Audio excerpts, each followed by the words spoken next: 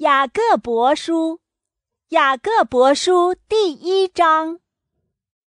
天主及主耶稣基督的仆人雅各伯，祝散居的十二支派安好。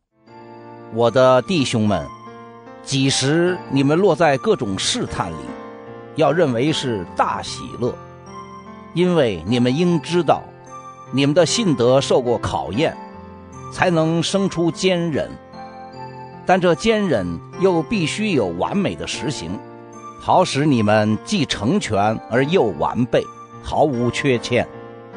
你们中谁若缺乏智慧，就该向那慷慨施恩于众人，而从不责斥的天主祈求，天主必赐给他。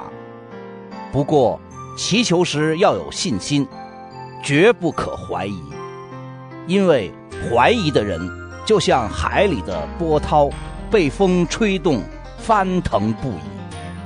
这样的人，不要妄想从主那里得到什么。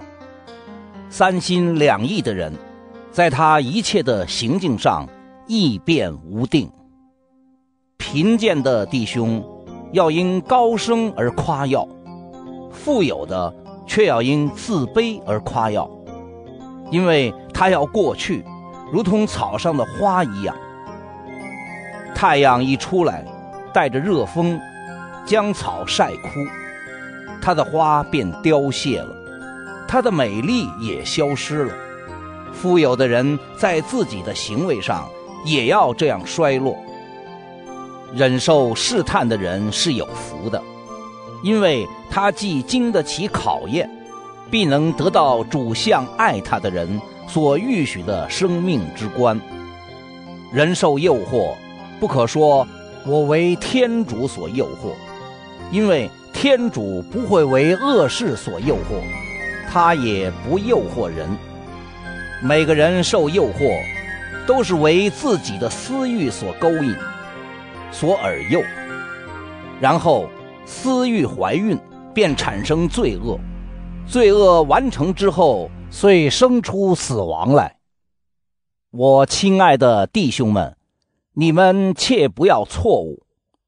一切美好的赠与，一切完善的恩赐，都是从上，从光明之父降下来的，在他内没有变化或转动的阴影。他自愿用真理之言生了我们，为使我们成为他所造之物中的出果。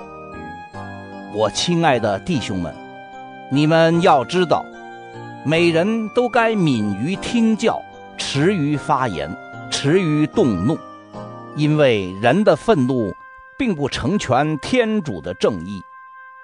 因此，你们要脱去一切不洁和种种恶习，而以柔顺之心接受那种在你们心里而能救你们灵魂的圣言。不过，你们应按这圣言来实行，不要只听，自己欺骗自己。因为谁若只听圣言而不去实行，他就像一个人对着镜子照自己生来的面貌，照完以后就离去，遂即忘却了自己是什么样子。至于那细查赐予自由的完美法律，而又保持不变。不随听随望，却实际力行的，这人因他的作为必是有福的。谁若自以为虔诚，却不钳制自己的唇舌，反而欺骗自己的心，这人的虔诚便是虚假的。